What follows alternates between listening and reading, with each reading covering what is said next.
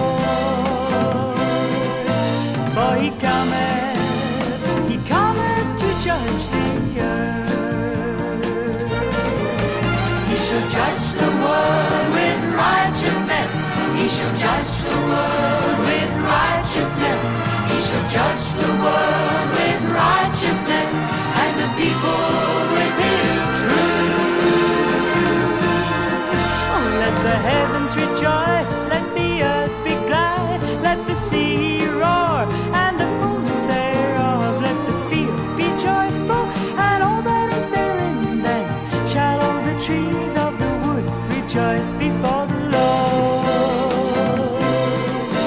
For he cometh, he cometh to judge the earth. He shall judge the world shall judge the world with righteousness. He shall judge the world with righteousness and the people with his truth. Let the heavens